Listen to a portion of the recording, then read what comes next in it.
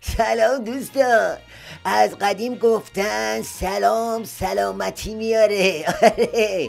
پس سلام و صد سلام و هزار سلام به دوستان خوب موشکافی. میگم بر اساس مطالعات بنده دروغ درمانی شاخه اصلی طب آخوندیه. شیخ فریم که در این زمینه پرفسوره امروز می‌خوام پته دو فقره دروغ شیخ فری و واسطون بریزم رو آب. اولین دروغ انتخابی.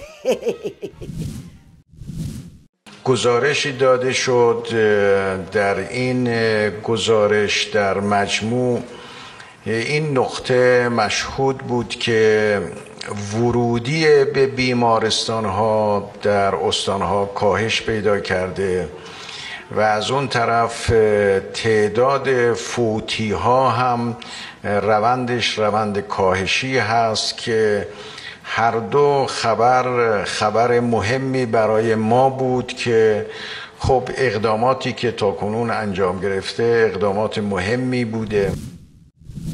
بیا اگه آمارایی که خود رژیم منتشر کرده رو ملاحظه بفرماییم متوجه میشین که متاسفانه آمار فوتی ها نه تنها سیر نزولی نداره بلکه سیر سعودی هم داشته. ای لعنت به همه اینا!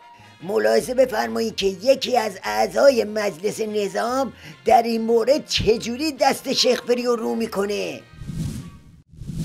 یک بیماری ویروسی شیوع پیدا کرده است که اسم خارجیش کرونا ویروس یا کووید 19 است و در داخل هم نامش بیماری حاد تنفسی می شود.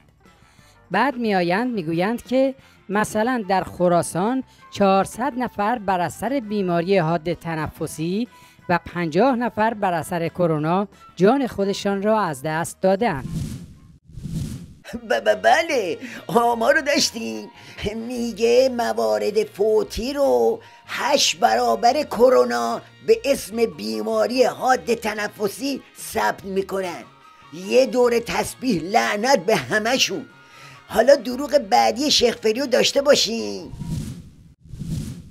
ما یک رقم و عدد بسیار بالایی از تختای بیمارستانی و تخت های نقاهتگاهی امروز در اختیار داریم که استفاده نکردیم. دی دی دی قصه تخت خالی و تخت نقاهتگاهی خودش یه قصه درازه. اما ملاحظه بفرمایید که با چه ترفندی های بیمارستان رو خالی می‌کنن؟ هنگامی که بیمار به مراکز درمانی مراجعه می کند در ابتدا به او می‌گویند بیمار نیستی و به خانه برگرد. بعد هم که بیماریش ثابت می شود سه قرص معروف را به او می دهند و دوباره عنوان می کنند به خانه برگرد و خود را قرنطینه کن و در صورت افزایش علائم تنگی نفس مراجعه کن. طبیعی است هنگامی که می‌گوییم به خانت برگرد این کار مساوی می شود با اینکه تخت بیمارستان کم نداشته باشیم. نتیجه این کار چه می شود این می شود که آقای رئیس جمهور می گوید تخت بیمارستانی کم نداریم. وای وای وای وای وای وای وای. اینم از طب آخوندی.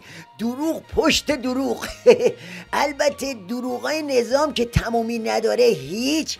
یه قلم دیگه اونی که شیخ فری گفت تازه سی بهمن فهمیده کرونا اومده. اگه بخوام لیست کنم میشه مصنوی هفتاد من کاغذ. بله اما دوران این دروغ درمانی ها تموم شده و فردا باید جواب تک تک این دروغ رو بدن و بگن که زیر کاسه این دروغ چه نیم کاسه ای بوده و واسه چی ملت و اینجور ریختن تو دره مرگ و نیستی؟ ای لعنت بر همتون. البته خود نظامشون داره همون جایی میره که می‌خواستن مردم رو بفرستن. حالا ببینیم با کانونای شورشی و شهرهای شورشی چی از شما باقی میمونه. دوستان مرحمت زیاد.